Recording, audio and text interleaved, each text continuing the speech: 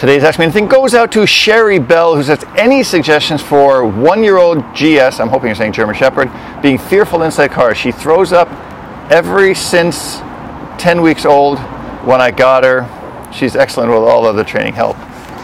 I mean, I, I, don't know if this is nervousness or car sickness. If the car is moving, then it's it's car sickness, and you better get to a vet and get some Dramamine or some kind of a an anti-anxiety, you know, anti-Dramamine. I think Dramamine is the one that they use um, and get the dog to really, you know, get, get rid of these physical, you know, med- medical type things. If the dog is just afraid of being in a car, just feed the dog in a car. It's the only place the dog gets to eat for the next month.